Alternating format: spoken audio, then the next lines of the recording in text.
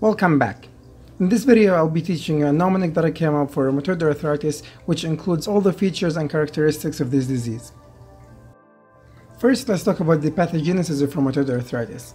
It's an autoimmune disease relating to HLA-D4 and this will cause granulation and joint destruction. It's a systemic disease so symptoms will appear all over the body.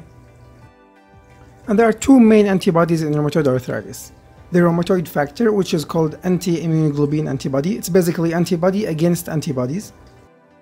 And it's present in about 80% of the cases. And there is anti-cyclic citrullinated peptide antibodies, which is the most specific factor for rheumatoid arthritis. To remember all the symptoms and characteristics of rheumatoid arthritis, I remember the word inflamed. So I for inflammation of the pleura and the pericardium.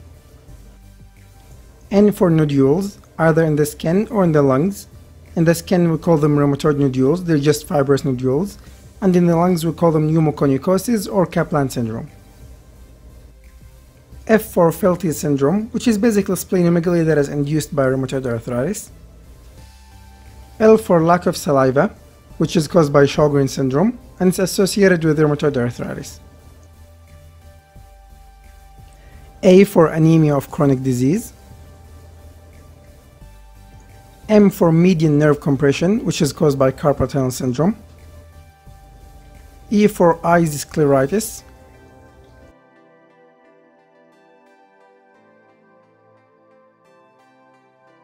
In bone changes, we'll see subchondral erosions, as you can see, and subchondral cysts. And here are the subchondral erosions and cysts next to one another so you can compare them. As you can see the erosion is more diffused and the cysts are more circular in shape.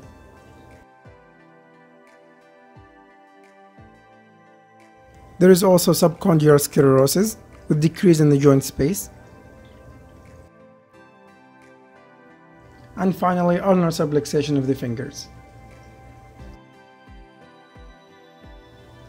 To treat rheumatoid arthritis, we use the disease-modifying agents such as methotrexate, sulfasalazine, hydroxychloroquine, and leflunomide.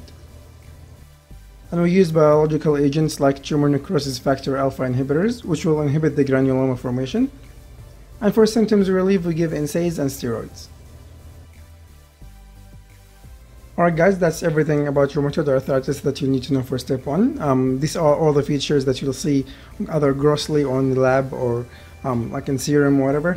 So hopefully I made this easier for you and see you guys later.